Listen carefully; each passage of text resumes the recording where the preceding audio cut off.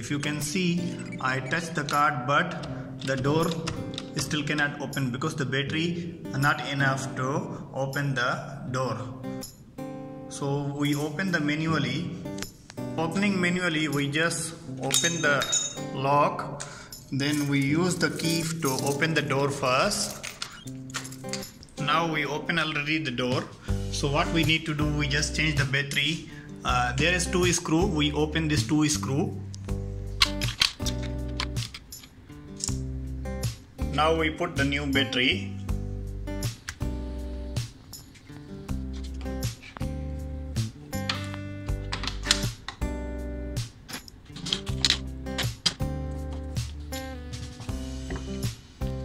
Now we test so our door is open